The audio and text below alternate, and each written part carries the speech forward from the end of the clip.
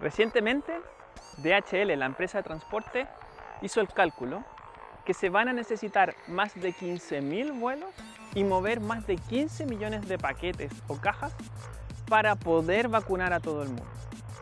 Esto no es trivial porque ese movimiento hay que hacerlo lo antes posible, manteniendo una estricta cadena de frío y asegurándose que lleguen dos dosis de vacuna para cada persona.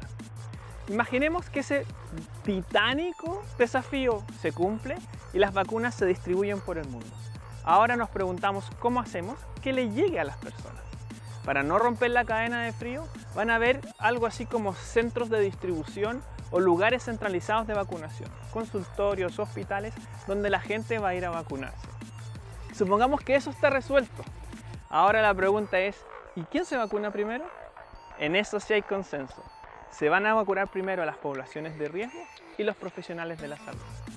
En resumen, vamos a contar con una vacuna y más de una, lo más seguro, el próximo año, es decir, durante 2021.